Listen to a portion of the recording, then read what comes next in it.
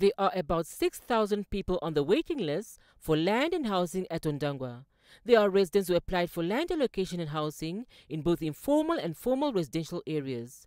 To address housing needs for people in Ondangwa, the council saw it fit to service Extension 13 and sold it to a private developer, Comba Properties, to build houses.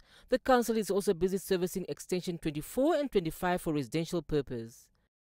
And our financial capacity as a council cannot really say within one year let's have uh, avail land for all the 6,000 people. We are uh, availing land but or at a, at a slower pace than anticipated or than expected by the people.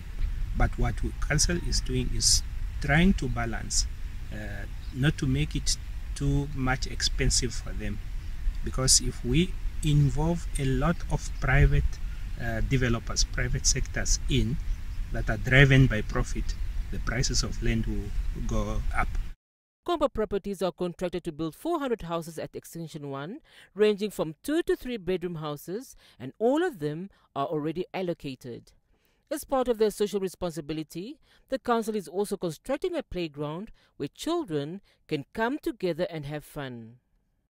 Normally, local authorities we neglect uh, recreational facilities, but then we decided that we don't want to continue in that fashion but we make sure that um, this open space that is within section 8 should be developed so that the kids will be having an area to, to relax once they they are free